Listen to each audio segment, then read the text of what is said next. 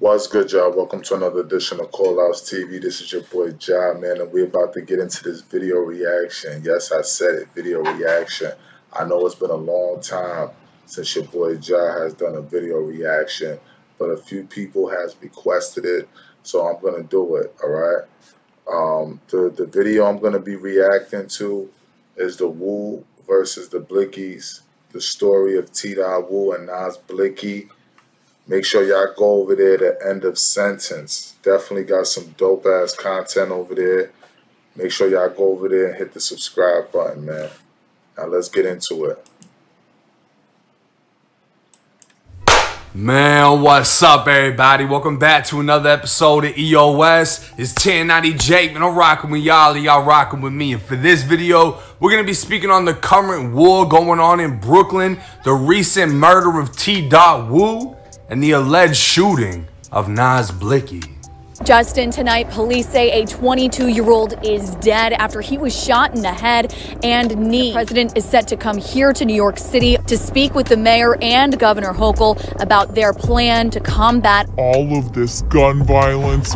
February 1st, 2022, gunfire broke out in the Canarsie neighborhood of Brooklyn, New York. Officers arrived. He said, Canarsie. nah, man, that shit funny, man.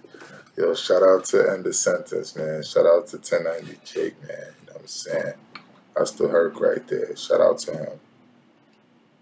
To the corner of 98th Street and L Avenue, finding a man collapsed on a front porch. Immediately transported to Brookdale Hospital, only nine minutes away, he was pronounced dead and identified as 22 year old Tajay Dobson, who's more commonly known as T. Dot Woo, an associate of Pop Smoke, who went viral for his dance in Pop Smoke's video, Welcome to the Party. The dance would become known as the Woo Walk and set off a trend throughout the entire city of New York.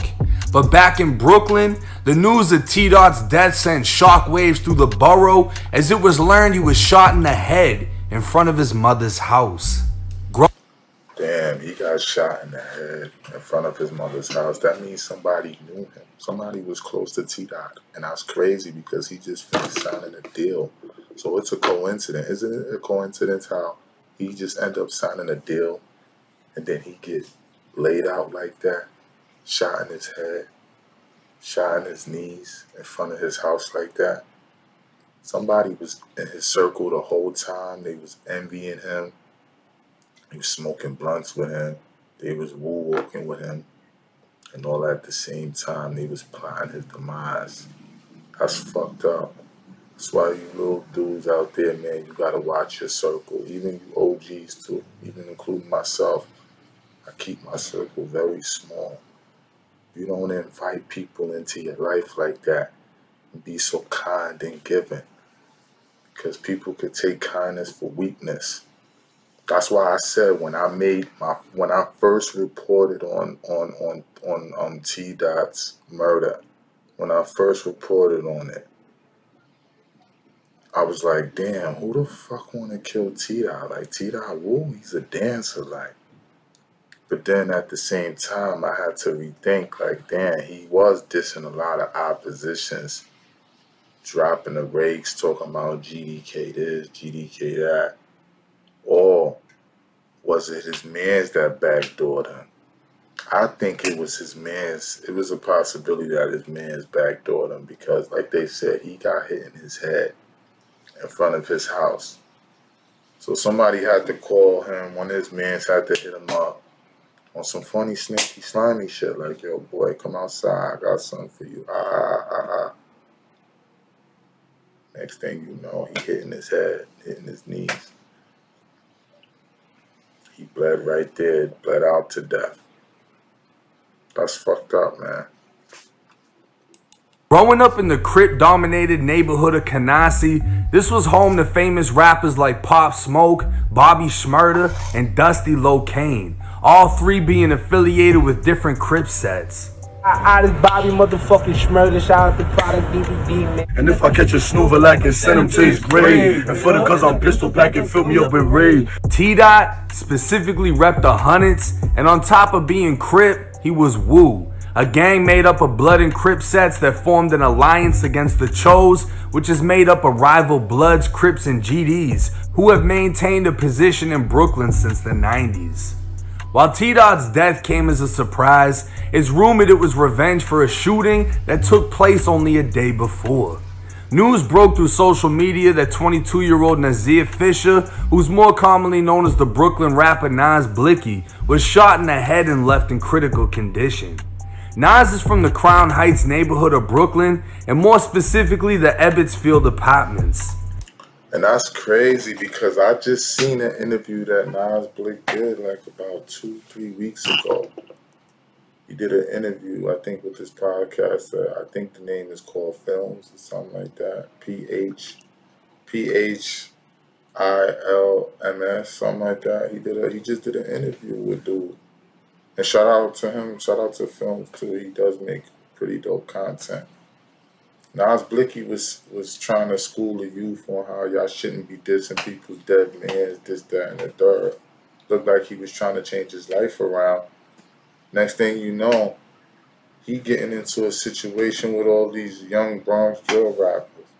Now, for those of you that haven't, that don't know too much about Nas Blixky, Nas Blixky, man, he been around on the scene for like a good five to six years. Um, rest in peace to Zack TV. Zack TV was a was a um, YouTube blogger that was from Chicago that also got shot in his head. He was the first one to give Nas Blixky, Envy Caine, and them some spotlight. So dudes from Chicago, like the GDs that live in Chicago, they started getting more familiar with Nas Blixky, Envy Caine, and, and the Chos, Coast to Coast, and etc. because um, they had a relationship based off of Zack TV. Rest his soul. Ebbets Field was originally home to the Brooklyn Dodgers, the stadium being destroyed and replaced with an H-shaped housing complex that reached 25 stories high, had 1,300 units, and in the 1960s was the largest housing complex in all five boroughs. What was once home to the Brooklyn Dodgers became a home base for the GDs and the birth. Yeah, I know about I know about Ebbets Field. I know about Crown Heights. Like for those of you that don't know, I've said it before. Like my sister, she's from a dangerous block in Crown Heights. She's from Lincoln and Franklin, Lincoln Place and Franklin Avenue. Wild block. It's always shootings over there all the time. You know what I'm saying? Like it's a wild, it's a wild, wild block. You know what I'm saying? Place of the Blixkys, a gang primarily made up of Brooklyn rappers from Ebbets Field, but also different parts of Brooklyn. Zack TV, a YouTuber from Chicago, can be credited with documenting Chicago's drill scene and recording. I was just saying that, man. I'm saying? Rest in peace, you know, to Zack TV. Zack TV is the GOAT. Like, he was like the first blogger to really go deep into these inner cities, into the gutters, man, and get exclusive interviews, man. He used to be rolling dolly by himself the majority of the time. Just dude to go anywhere. He wasn't just a YouTube blogger. That's what set him apart from a lot of these other bloggers like Zack TV. He was international. He was going everywhere. Pardon if y'all hear my dog barking. Hold on one second. Storm, be quiet. Quiet. Quiet. Yeah, my dog, she be getting a little crazy when she hears somebody at the door. Quiet. Quiet. Yeah, man. recording legendary interviews before being fatally shot in the head in downtown Chicago back in 2018. One year Yeah, man. Zack, Zack TV, man. He was another dude, man. He got killed because of jealousy. And a lot of people, they used to tell Zack TV, like, yo, you got to be careful, Zack. You know, when he used to go on Instagram and shit like that. People that didn't even know him, they used to give him advice like, you know, you need to be careful, man, when you're going into these gang neighborhoods in Chicago or you're go in certain places in New York, you gotta be careful because you interviewing both sides, you know what I'm saying? Oppositions and you know what I'm saying? That shit could always turn end up deadly, you know what I'm saying? And unfortunately, you know, he felt it was coming, you know what I'm saying? Like for those of you that have been following Zack TV, y'all been, you know, when he used to go live on Instagram, like he always used to be throwing signals out there like he felt his day was coming soon. He felt somebody wanted him dead. Because what he was doing, man, like I said, man, he was in the gutter. He was in the urban cities. The cities where a lot of you bloggers, you niggas are scared to go. He was there, man. He's dude is a legend. He put, like I said, man, he put Nas Blixky and Envy Caine in the mall. Then that's when a lot of niggas from Chicago, they was yeah, they was jacking niggas. Like, yeah, these niggas is nice. Know what I mean? So definitely rest up to Zack TV, man. And everyone else who lost their lives. Prior, Zack TV took a trip to Brooklyn, interviewing the then 17 year old Nas Blixky in the Ebbets Field apartments. In that interview, Nas can be seen crediting Lou Blixky with being the founder of the Blixkys, and they'd continue making noise in Brooklyn's drill scene. But Lou Blixky, another young boy, another young talented boy that lost his life. You know what I'm saying? Because it is dissing just rap drill, dissing shit. I mean, don't get me wrong, I'm a fan of it because I like to see the little young niggas do their thing. You know what I'm saying? That's the new wave now for this generation. But when it starts to, when lives are starting to get taken and mothers is crying over caskets and shit like that, man, that's when, you know what I'm saying, that shit is not cool no more, bro. You know what I'm saying? Like, you dudes is really, you young dudes is really out here trying to live out your lyrics, man. And you destroying families, man. Changing lives forever. As rising rapper 22Gz became the face of Brooklyn drill, with songs going all the way back to his 2016 hit Blicky. But violence was no stranger to drill and no stranger in Brooklyn. In May of 2020, 21 year old Yo, check Tutu out, man. Check little Tutu out, man. Hold on, I gotta rewind this shit back. Hold on. Nicholas Thompson arrested. But violence was no stranger to drill and no stranger. Yo, check Tutu out, man. Ah, man, I ain't gonna find. I gotta give Tutu his flowers, man. Tutu came a long fucking way, man. You know what I'm saying? Like, he was another one that I thought that was gonna get sent up the river and, and destroy his career, man. But he came back and he, he worked hard and you know, Kodak put him under the wing, man. Took him out the hood, man. And he still come back to the hood and put his niggas on when he's shooting his music videos, you know, his drill shit. Be having all the folks and, you know I'm saying, niggas from Versailles and, you know, niggas from the Garvey, you know, even the Brooklyn, you know what I'm saying? Like, it's cho, it's, it's a lot of folk and cho niggas out here too, man. You know what I'm saying? Like, don't get it fucked up. Like, where I'm at, in the P's in Brooklyn, the majority of niggas over here is chalk. But then you got the niggas that live across the street. Those are the hundred clocks, you know what I'm saying? Those are the crippy niggas, you know what I'm saying? So it's been an ongoing war for, for, for years, man. You know what I'm saying? Niggas from the P's and, and the private house niggas, the crippy niggas, always has shootouts and, and beef and shit like that. But what's understood don't have to be explained. stranger in Brooklyn. In May of 2020, 21 year old Nicholas Thompson, a rapper who went by the name Nick Blixky, was shot multiple times in the chest and ass, dying in the hospital. His death came only three months after Pop Smoke was murdered. and free, and free. Man, man, rest up to Nick Blixky, man. He was another young talented dude that was about like I remember his whole come up and shit like that because I remember when Tutu got locked down in Miami and shit. You know what I'm saying for that for that PD and all that. Nick Blixky was like Nick Blixky and um and Skrell Paid was the only two niggas in Envy Caine. And Nas Blixky, yeah. Nas Blixky, Skrell Paid, Envy Caine. You know what I'm saying? Niggas was putting on when Tutu was, you know what I'm saying, locked up in, in Miami and shit.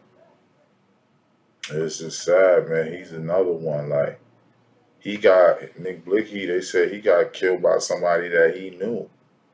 That just, just on some dapping him up, dapping him up shit. Like, yo, what up, what up, boy? Like, you know how niggas be on some regular shit in the hood. Like, yo, what up, boy? Like, you know what I'm saying? And boy just backed out and just started booming that son. Like, you know what I mean? But this shit is crazy, man. and free, and free, free, and free, and free, free, free, and free, and free, and free. in a home invasion robbery in Los Angeles, and as members of the Woos began to troll Nick Blixky home invasion hospital. Blixky was shot multiple times in the ch- Thompson, a rapper who went by the name Nick Blixky, was shot multiple times in the chest and ass, dying in the hospital.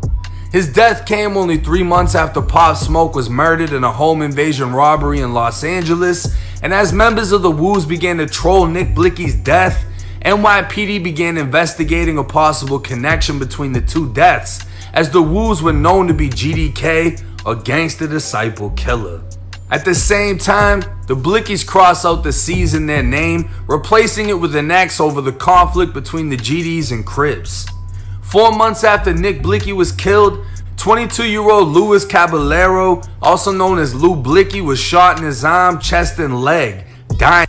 And I'm saying, let me let me tell y'all something. Like I come from the forever, like I'm 35 years of age. I've been through it all and I've seen it all. I remember coming up, you know what I'm saying, going to school. I remember when the GDs and the Crips, they was cool. You know what I'm saying? There was never no beef and like that. I mean, niggas that have their little one twos here and there, but it was nothing really major where nigga I see you, I'm a pop your head off type shit. You know what I'm saying? It was none of that. Now with the you know what I'm saying, the feds then came into the neighborhood and and swept up all the OG gangster niggas is, is no direction in the hood. So these little niggas is just doing whatever the fuck they want to do. You know what I'm saying? So, you know, but yeah, it was it was a point in time where in my era it wasn't no GDs and and no crippy niggas beefing like that. You know what I'm saying? Shit different now. after a confrontation at a party in Brownsville. Police arrest Lewis and Crips. Four months after Nick Blixky was killed, 22 year old Lewis Caballero See that school right here, the Allah School in Medina right here. This used to be a, a club back in the days, back in the um back in the nineties and shit like that. In the eight in, in the eighties and the nineties, man.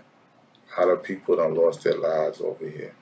Because niggas from River this is on the same side as Riverdale Projects. Y'all always hear Envy Caine in his videos. He be screaming out Riverdale and shit that's home to folks too, and some show members, you know what I'm saying, as well as Marcus Garvey. Like I'm from Brownsville, born and raised, so I know my family's from Van Dyke Projects, the five block. From five, I got family from five block to South Side. South Side is near Junius Street, the train station on them sides. But um, yeah, man, it used to be a lot of bang outs that before this shit became a Allah school. It was used to be a nightclub, man, back in the days, man. Used to be a lot of people used to lose their lives in here. Niggas used to come up in here with their grips on them. My uncles and shit like that used to tell me, you know what I mean? Niggas used to come up in here with their slammies and niggas ain't had no metal detectors and nothing like that back then. You know what I'm saying? So you could get in with your gun, your knife, whatever. A lot of people lost their lives, but they turned this into a school now and shit, you know, Muslim school. Bro, also known as Lou Blixky, was They used to have. Oh, let me let me let me let me just say this one thing. Niggas from Riverdale used to have bang outs with niggas from Tilden. You know what I'm saying? Back in the days. Used to be crazy, early '90s and shit like that. Riverdale and and and, and the motherfucking um, Tilden Peas always used to have bang outs. You know what I'm saying? Cause niggas from Riverdale is linked up with niggas from Marcus Garvey. Like they they both come back and forth and chill in each other's projects. You know what I'm saying? They're affiliated. Shot arm, chest, and leg, dying after a confrontation at a party in Brownsville. Police arrested the 20 year old alleged shooter only a block away, who was a documented Crip gang member from the 90s in Canarsie, Pop Smoke's hood. Lou Blixky's casket would be carried through the Ebbets Field apartments as multiple retaliation shootings would follow in the weeks after his death. January 30th, 2022, Nas Blixky would repost to his Instagram story a clip of an unreleased song in which he's dissing his ops. Like I was just saying, I'm surprised he went out like Nas Blixky went out like that because he just did an interview about I think it was two to three weeks ago, three to four weeks ago, some shit like that. Did an interview with Films, man. And um or Fims, whatever his name is. But he be having some dope content. Shout out to him. I'm gonna say it again. And Nas Blixky was just talking like trying to you know what I mean? He was talking like he was trying to school the youth, like, yo, you know what I'm saying? Y'all gotta understand when y'all dissing ops, you dissing other people's you dissing ops um loved ones that passed away, you gotta understand there's people that's gonna feel some type of way about it and they're gonna come back looking for you. They're gonna come back to kill you or do something to you. You gotta be mindful of these things. So it sounded like he was trying to wisen up. Then the next thing you know, he's making a diss track about some some PG sixteen nigga or some shit like that. And then he ended up getting shot in his fucking head. Next thing you know. Then a lot of people it's speculations, man. Everybody's been talking about it all over social media. Some people saying that he's dead. You know, his gang is covering up for him. His baby moms is covering up for him, but he's he's definitely a vegetable type shit. Like, yeah, man. You even had niggas from um um what's this nigga name, man? He's an affiliate of 1090. Um, what's this nigga name, bro? Justo B, you know the little Spanish looking kid, man.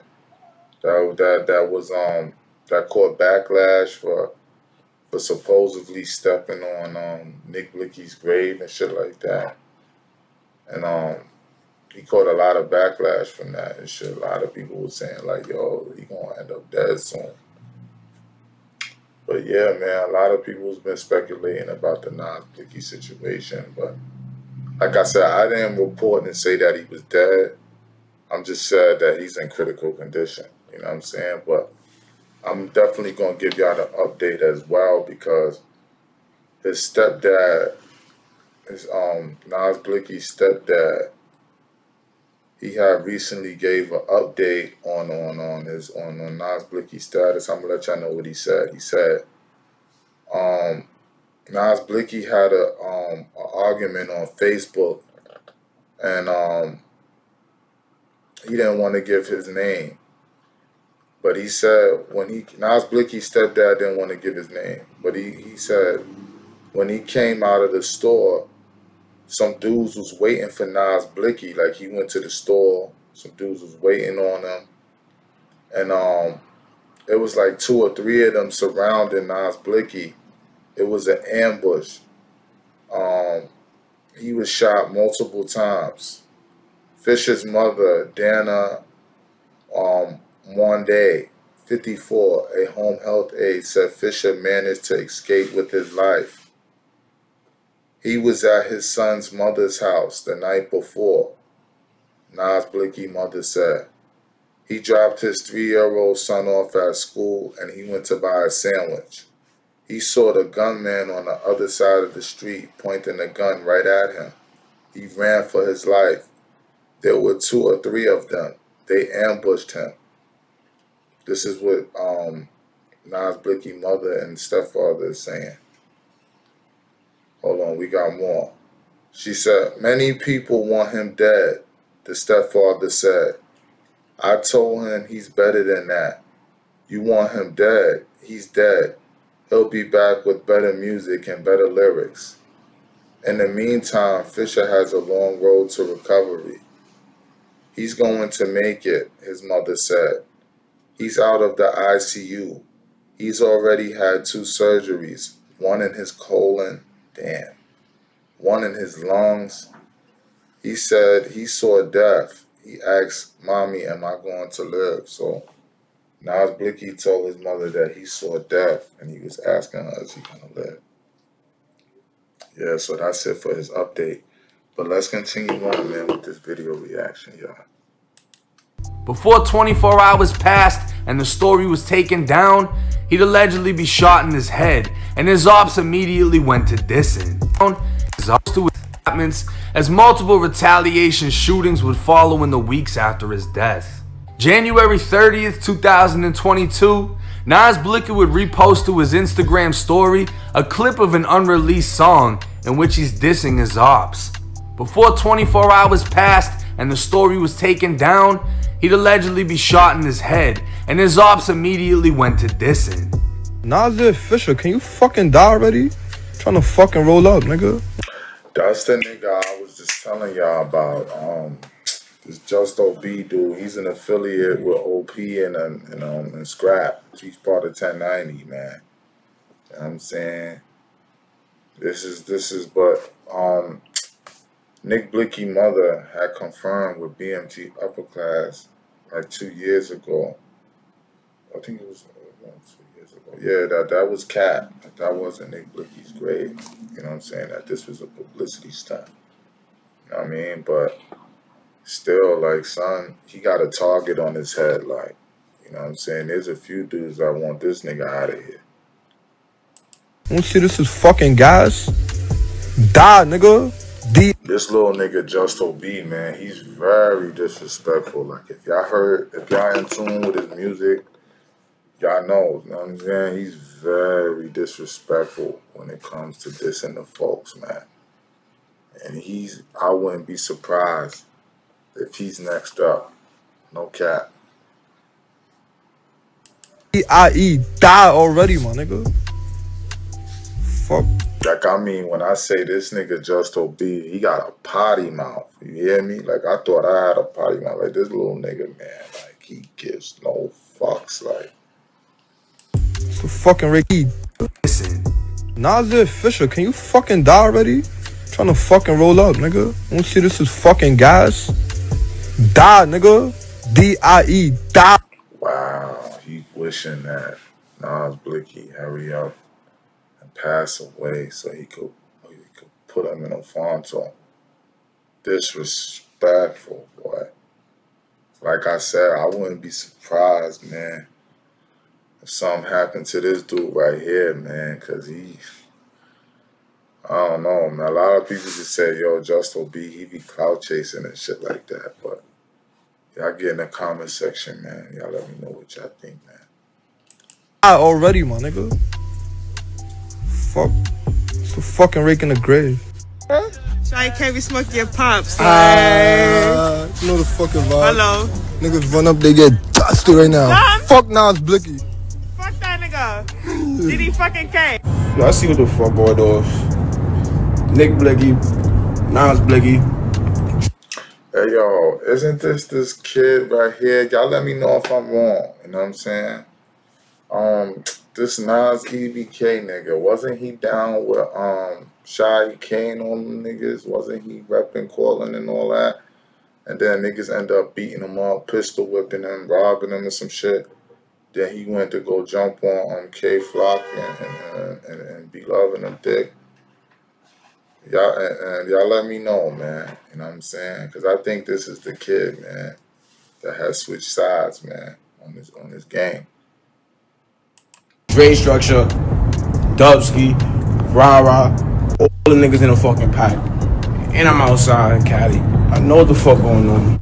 Now, Nas Blixky's ops had a full day to diss before T Dot Woo was killed, and the dissing was immediately reciprocated as the GDs responded with comments about how Nas Blixky was alive and well while T Dot was dancing with the star. But I'm gonna be keeping it a hundred with y'all. If Nas Blixky is alive and well, then y'all need to take a picture. Y'all need to.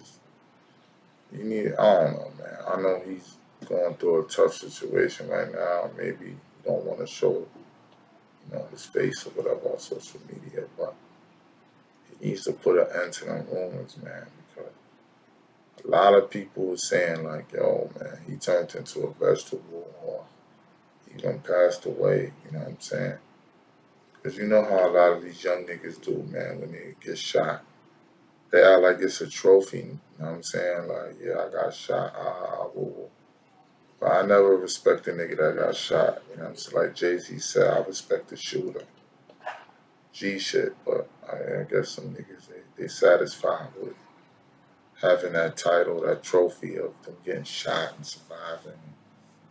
I guess it does something for their ego, but I don't, I don't respect that. I respect the shooter.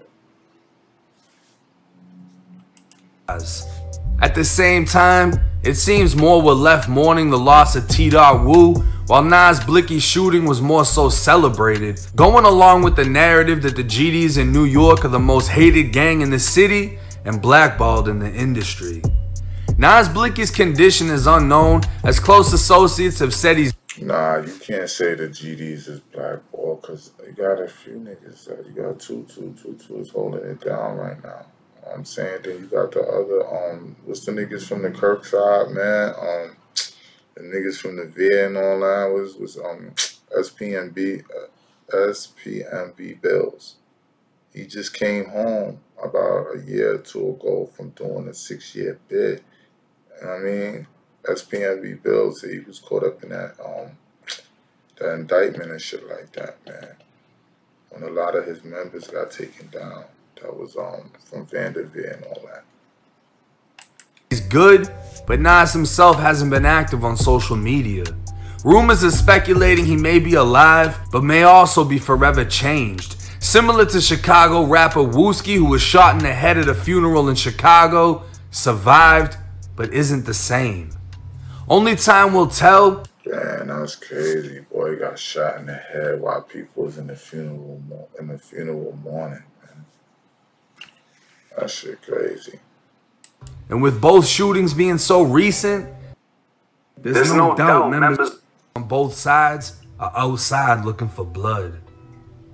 Now these back-to-back shootings are wild, and it seems like T. Dot Woo is getting more love from the situation, while everyone else is really just hoping Nas Blixky dies or just sweeping it under the rug. Yeah, man, because T Dot Woo was he was the life of the party, man. Like, you know what I'm saying? Like, I'm not saying that Pop Smoke wouldn't have blew if he didn't have T Dot in his videos, because of course he would have.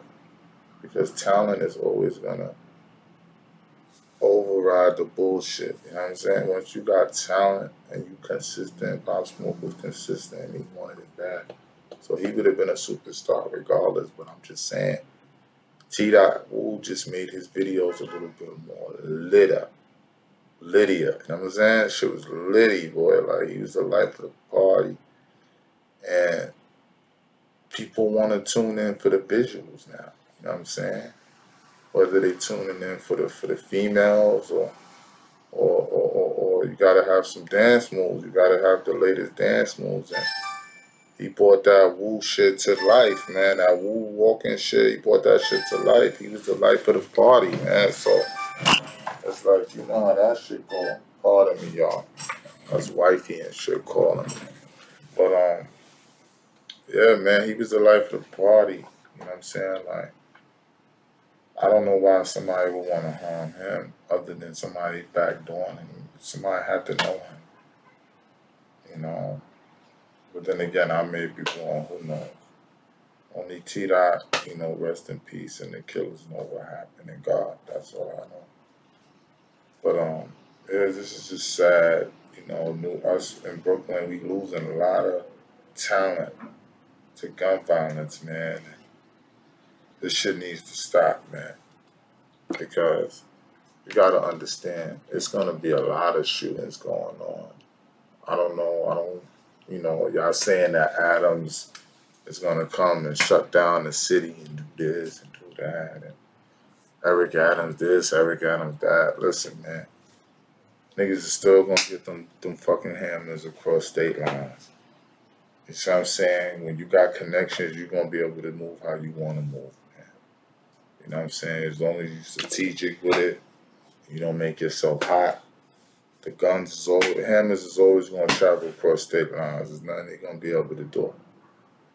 But until next time, man, y'all let me know what y'all think in the comment section. This is your boy Call Outs TV. Don't forget to like, share, and subscribe. We're definitely going to have more content on the way.